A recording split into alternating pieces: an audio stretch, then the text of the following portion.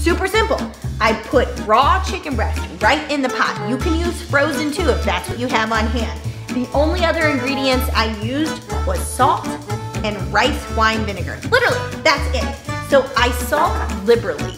Part of keeping your chicken nice and tender so you can actually have it and enjoy it throughout the rest of the week so it's not dry and rubbery and bleh, is using salt and the key vinegar. This is it. The acidity in this is what's gonna break that chicken down and keep it moist. I salt both sides. I have one clean hand, one dirty hand. I get in there, I rub the salt in, and then I just keep adding vinegar until every ounce of that chicken is completely coated.